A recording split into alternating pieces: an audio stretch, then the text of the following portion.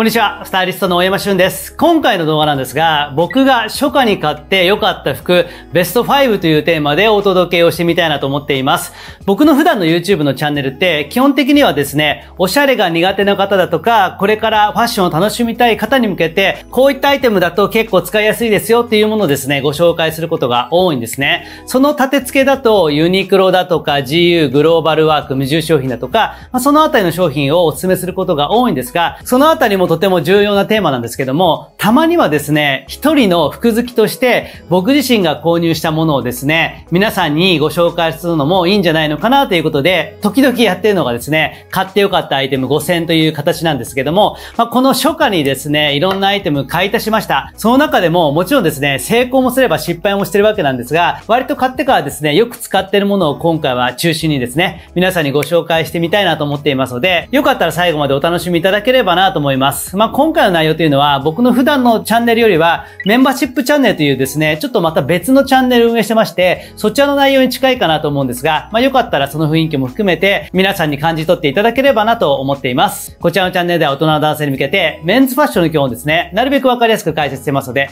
よかったらチャンネル登録の方もよろしくお願いします。それでは早速、行ってみましょう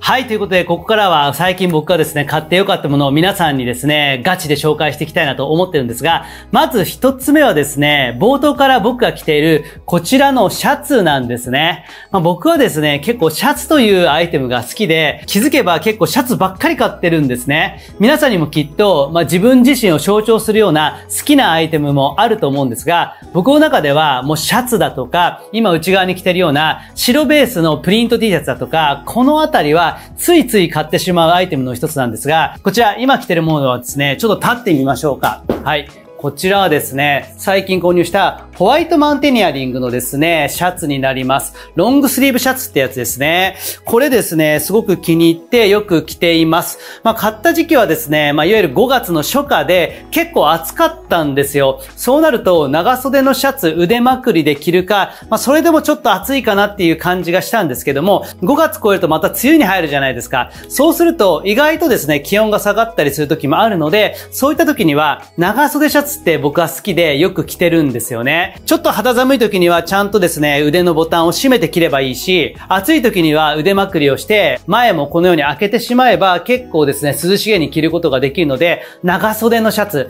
特にブルー系が僕は大好きで、清涼感があって、すごく合わせもしやすいので、こちら買ってしまいました。まあなかなかですね、デザインがいいんですが、ホワイトマウンテニアリングというと、皆さんの中では、まあ以前ユニクロとコラボレーションをしたイメージがあるかなとは思うんですが、まあ結構ですね、アウトドアだとか、外遊びに適したようなアイテムが多くて、まあそういったものをですね、都会的に街着として着れるようなアプローチが多かったりするんですね。ソフトシェルジャケットだとか、そういった系のアイテムがですね、結構有名だったりするし、あとは冬場で言うと、ユニクロのコラボでもありましたが、ダウンだとかフリースだとか、そのあたりが強いんですが、僕はですね、ホワイトマウンテニアリングのアイテムを買うのはですね、意外とシャツが多いんですね。普段からよく着ているストライプのシャツとかもあるかなと思うんですが、あれもホワイトマウンテニアリングで2年ぐらい前に購入して、すごく気に入ってよく着てるんですが、まあ、サイズ感ちょっとゆったりめ、丈も長めで身幅ゆったりめ、そしてポケットですね。胸ポケットが両方についてる。このあたりも含めて、なんか好きなんですよね。シャツというアイテムで、ちょっと小綺麗でかしこまった感じはあるんだけども、素材の風合いですね。表面にもですね、シワ感があって、そんなに気取りすぎずにサクッと着れるというところ。このあたりのアプローチがすごくですね、ホワイトマウンテニアリングはいいなと思っていて、僕はよく着ています。まあ、素材にはコットンとキュプラをですね、混紡してるわけなんですが、独特の素材感ですよね。コットンが持つですね、自然な風合いと、ちょっと張り感だとか、ぬめり感のあるような生地の質感っていうのは、まあ、二つの素材をミックスさせているからこそだと思うんですが、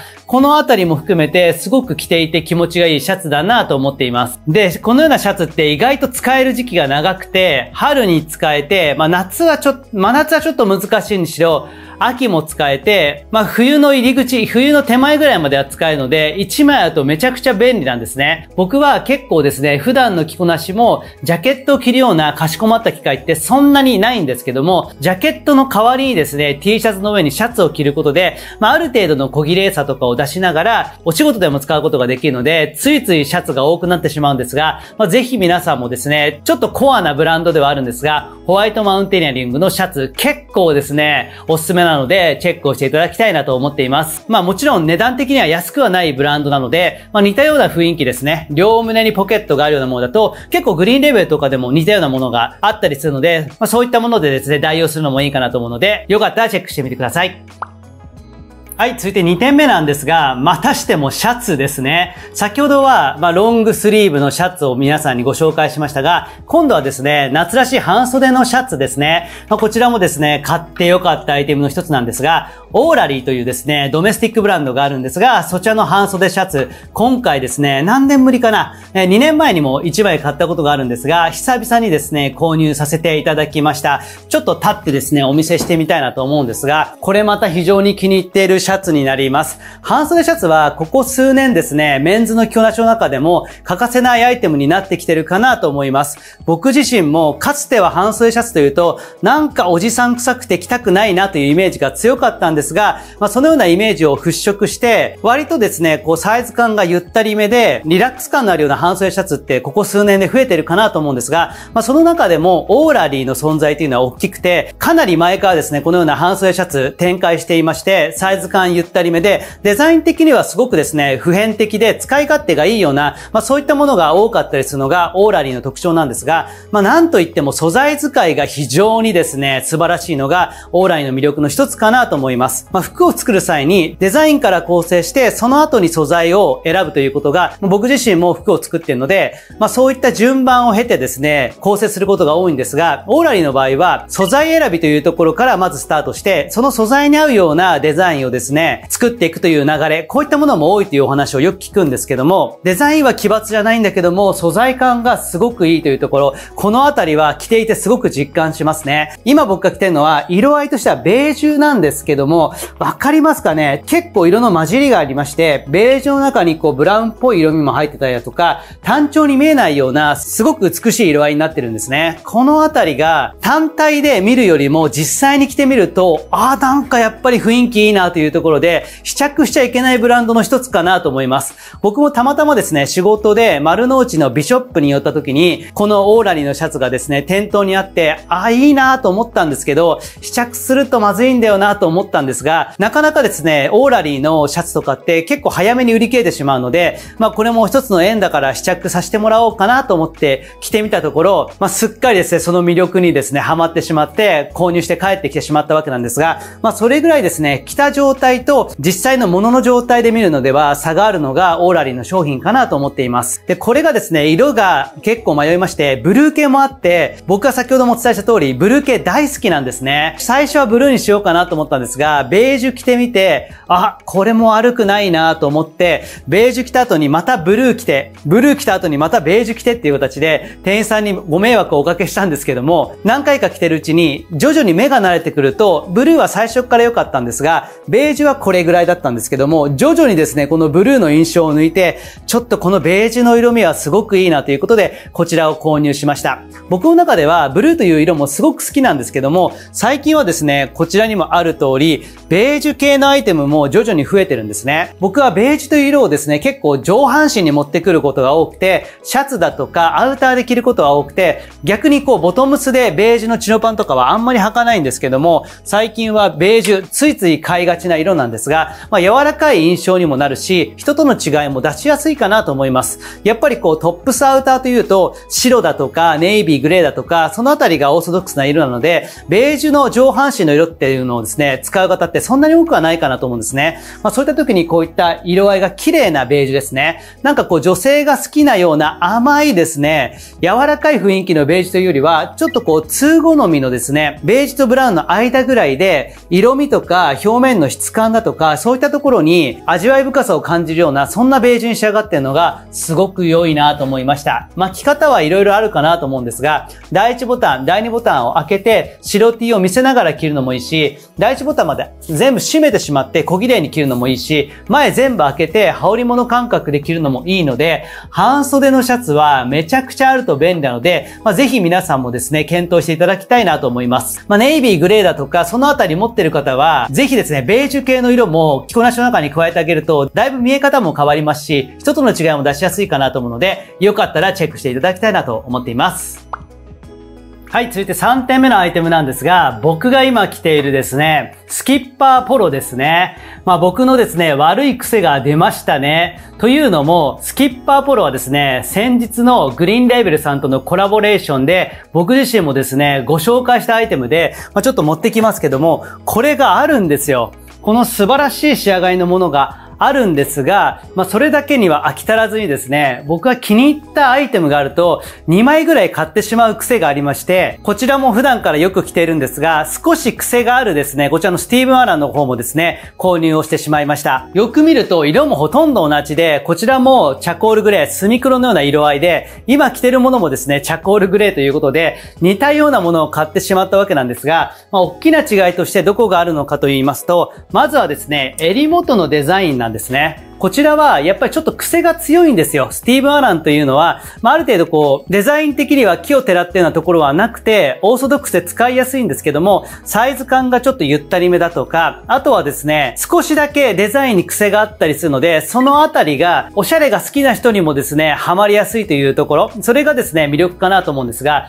この V の空きがですね、グリーンレベルさんとのコラボレーションのものよりはぐっと深く開いていまして、まあ、スキッパーというよりは V ネックのカットソーに近いようなそんな開き方になっています。襟もついてるんですが、この位置にあるんですよね。だいぶ外側にあるので、なんかデザイン的にはスキッパーポロなんだけども、V ネックのカットソーっぽいような感じもして、このあたりのアプローチがすごくいいなと思いました。で、グリーンレーベルさんでとコラボレーションしたものは僕 M 着てるんですけども、こちらは S なんですよ。S なんだけども、袖丈も長いし、身幅もゆったりで、グリーンレベルさんのコラボレーションよりは、さらに大きい印象なんですね。そういった意味では、だいぶ癖強ではあるんですが、それぞれ着る機会が全く違くて、グリーンレベルさんとのコラボレーションのものは、割と日常的にガンガン着ていまして、こちらはちょっとこう、おしゃれをして、自分なりのですね、癖の強い着こなしをしたいなという時に使うようにしてるんですね。なので、登場頻度としては7対3ぐらいで、こっちの方が着る機会はそんなに多くはないんですが、非常に気に入っているアイテムになっています。素材にはちょっとこうシャリ感のあるコットンとヘンプですね。この混紡素材のものを使っていまして、まあ、まさに夏にぴったりのようような素材感かなと思います。なんかサイズ感だとか、袖の長さだとか、身幅のバランスだとか、そういったちょっと癖のあるところが、個人的にはスティーブン・アラン大好きで、ついつい気づくとアイテムが増えてしまうんですね。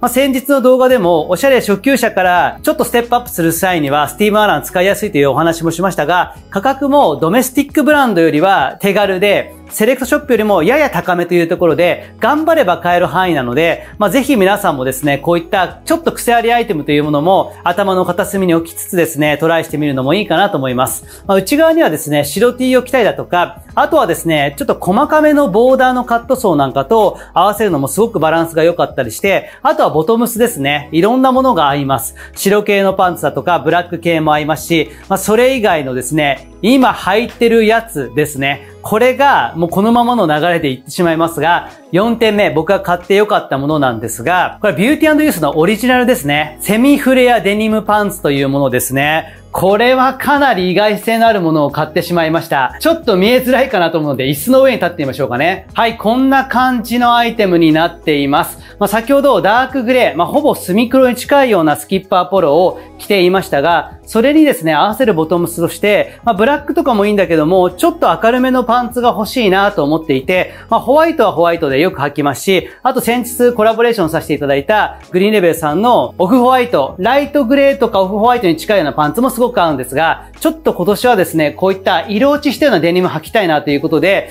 これ、ビューティーユースでたまたま見つけて購入させていただきました。まあ僕はですね、デニム最近全く履かなかったんですね。ここ数年ですね、プライベートではほとんど履いていなかったんですが、まあちょっと最近の流れとして、このような色落ちした感じのデニムですね。あと、まあ、ワイド感のあるデニムというのもいいんですが、少しですね、ジャストサイズに近いようなフィット感、そして、裾周りですね、ここがフレアになってるというボトムスも数年前ちょっと流行りましたよね。ユニクロとかでもやっていた時期もありましたが、結局は大きな流行にはならずに、まあ、気づけばだんだんちょっと縮小していった感じはあるんですが、だけども、おしゃれが好きな人の間では、ちょっとこのようなフレア感のあるパンツって、まあ今でも好きで履いている方はいらっしゃるんですが、なかなか自分の体型に合うものが見つからなくて、買えなかったんですけども、このビューティーディスのものは28インチでウエストも珍しくジャストだったんですね。で、フィット感もすごくいいし、フレア感ですね。これもだいぶ新鮮さがありますね。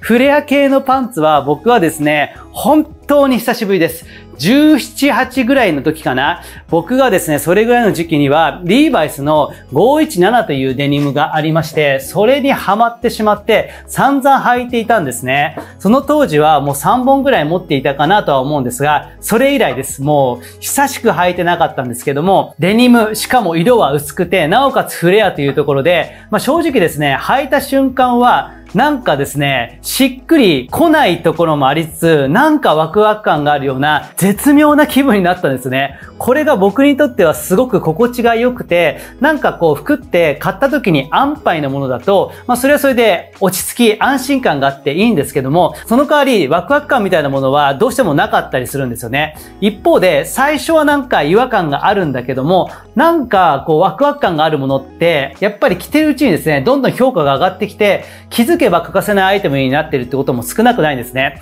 で、このデニムが僕にとってどっちなのかは、まだわからないんですよ。なんか履くたびにちょっとこう、半笑いになっちゃう自分がいるんですけども、これなかなかいいなと思って、最近よく履いています。まあ、正直ですね、奥さんとかからの評価はあんまり良くなくて、僕自身ブラックのパンツばっかり履いてるので、見慣れないっていうのと、あとフレア感が見慣れないっていうところで、他者からの印象というのはちょっとまだですね、見慣れないというものが多かったりするるんですね。その気持ちは僕自身すごくよくわかります。だって僕自身がそんなに見慣れてないから。だけども、やっぱり何回か来てるうちに、どんどんですね、目が慣れてきたりだとか、感覚が慣れてくるというところは実感してるので、このままの勢いで、ちょっとこう重ための色ですね、ブラックだとか、ネイビーだとか、ダークグレーのようなトップスと合わせながらですね、今年の夏は楽しみたいなと思っています。まあなかなか一般的には使い勝手がいいアイテムではないかなと思うんですが、まあおしゃれが好きな方で、ちょっとボトムスに変化つけたいという方は、よかったらチェックしていただければなと思っています。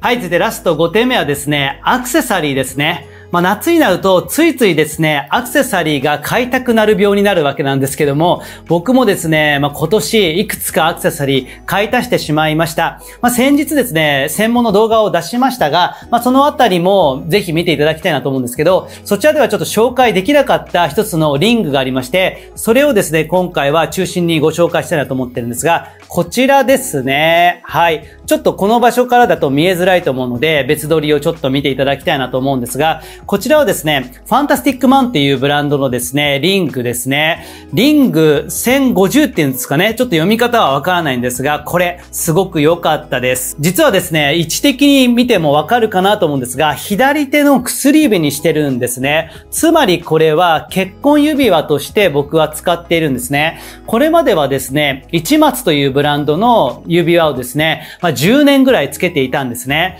まあ、先日ちょうどですね、結婚記念日を迎えまして、10周年なんですね。結婚して10年経ったので、まあ、リングもですね、ちょっとお互いに記念でまた送り合ったんですけども、まあ、その際にですね、僕のこれまで使っていた一松のリングがちょっとサイズが大きくて、かなりですね、こうしてると回ってきたりだとか、抜けそうな感じがあったので、まあ、これを機会にちょっと違ったものをですね、買ってみるのもいいかなということで、まあ、ずっと前から計画してたんですが、僕が今回買ったのはこのファンタスティックマンのリングでした。まあ、いろんなブランドのものも見ました。まあ、素材も含めてかなりグレードの高いものもあるんですけども、まあ、僕はこう毎日気軽にしたいのと、あとは結婚指輪感が強いものよりは、ファッションリングとして、まあ、様々なスタイルに合いやすいものがすごくいいなということで、いろいろ見たんですが、結局は僕の中で最も好きなアクセサリーブランドのファンタスティックマンに行ってですね、こちらを購入しました。なかなか面白いデザインになってまして、こう半分半分でデザインが違うんですよ。まあ、写真を見ていただきたいなと思うんですが、半分は割とですね、プレーンな、綺麗な雰囲気のリングになってるんですが、もう半分に関しては、こう叩いたような凹凸感のあるですね、デザインになってるんですね。その2つの素材をゴールドで繋ぎ合わせたようなデザインになってまして、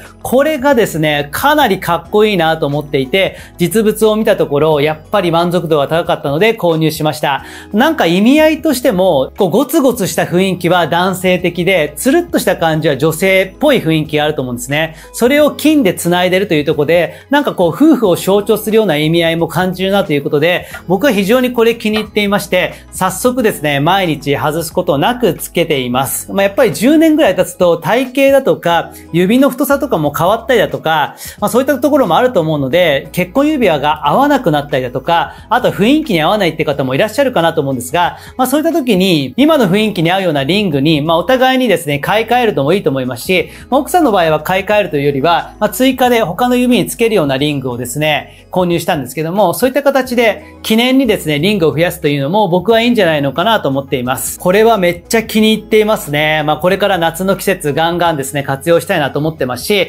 あともう一つですね、購入したのが、これ、アダバットトゥアレグのリングなんですけども、これも気に入っていますね。まあ、ついついね、もっといっぱいつけたくなっちゃうんですけども、なんとか我慢して、今はですね、左手に時計と結婚指輪があって、右手にはバングル。これもファンタスティックマンのものなんですけども、それと人差し指のリング。ここまでで押さえておきたいなと思ってるんですが、割と主張のあるようなデザインになっていまして、太さもちょっとあって、この二連になってるようなデザインっていうんですかね。このあたりがすごくいいなと思いました。太さはあるんですけど、真ん中の部分が抜けているので、そんなに重たく見えないのも良くて、あとはトゥアレグらしい手彫りの質感ですね。このあたりも、まあ、成功といえば成功なんだけども、本当に手作業でやってるなって感じるような、良い意味でのクラフト感というのがすごく伝わるようなデザインになっていて、すごくこれも気に入っています。まあ、人差し指にリングするっていうのも、僕は個人的に前からやりたかったんですけども、どうしてもちょっといかつくなりすぎるかなというところで、抑えておいたんですが、まあ、いよいよ僕の中でも解禁しまして、女性目線も大切なんだけども、自分の気分が上がるかどうかも重要しながらですね、このリングをちょっと最近ではよくつけています。まあ、ややですね、苦節用の指輪ではあるんですが、ぜひ皆さん、テュアレグのリングはですね、すごく使い勝手も良くて、おしゃれが好きな方にとっても非常にですね、信頼感の厚いブランドなので、チェックをしていただければなと思っています。はい、ということでいかがでしたでしょうか？今回の動画では僕が初夏に買って個人的に気に入ってるアイテムを皆さんにですね、5つご紹介させていただきました。まあ本当にですね、いつもご紹介してるアイテムよりは、ちょっと癖強のものも多かったりだとか、まあ皆さんにとっては、お、それいいのかどうかわかんないけども、そういうの好きなんだねってものもですね、多かったかなと思うんですが、まあファッションっていうのは幅広いもので、決して正解があるものでもないと思ってるんですね。まあそうは言いつつ、僕は普段動画の中で、こういったものがいいですよっていうですね、ちょっと野暮なことをお伝えしてるわけなんですが、まあそういったなんか人に似合いやすいファッションっていうものももちろんあったりするんですね。好印象が得られやすいファッションっていうのもいいんだけども、僕自身が個人的に楽しんでるような、やや癖のあるような着こなしも、まあたまには皆さんにですね、お伝えするのもいいかなと思うので、まあぜひですね、皆さん楽しかったらコメントしていただければなと思います。コメントが少なかったらもうやらないようにしたいなと思いますので、まあ気に入っていただいた方は一言でもコメントいただければなと思っています。これからもこちらのチャンネルでは大人男性に向けてメンズファッションの基本ですね、なるべくわかりやすく解説したいなと思ってるんですが、まあ、今回みたいな内容は普段の動画よりも、こちらとは別にもう一個展開している YouTube のメンバーシップチャンネルの方でやっているような内容に近いので、まあ、このようなちょっとこう中級者向けのアイテムですとか、コアなものを知りたい方はですね、よかったら動画の下の概要欄にですね、リンク貼っておきますので、そちらからチェックしていただきたいなと思っています。まあ、コアな動画もやりますし、週に1回、まさに今日これからそうなんですけども、ライブ配信みたいなものもやってまして、皆さんと一緒にですね、ワイワイと質疑応答しながら楽しむような回もやってますので、よかったらチェックしていただきたいなと思っています。また、普段ですね、なかなかゆっくり動画を見れない方もいらっしゃると思うんですね。僕もですね、YouTube は結構撮る専門で、あんまり見ないんですよ。時間が結構ですね、限られてるので、ウェブでこう記事を見ることは多かったりするんですけども、そういった方のために、オンラインサロンっていうものもやっていまして、おすすめのアイテムですとか、あとはこういったコーディネートいいですよというのをですね、リアルタイムでどんどん解説をしています。僕もいろんなコンテンツを持っていますが、その中で最もスピード感早く気に入ったものをどんどんアップしてますので、こちらは文章と写真ベースのご紹介で、だいたい1分前後で読めるんですね。なので、こちらでなるべくですね、時間を抑えながらファッションについて学びたい方はですね、ぜひオンラインサロンも概要欄の方からチェックをしていただきたいなと思っています。以上、スタイリストの大山俊でした。また次回の動画もお楽しみに。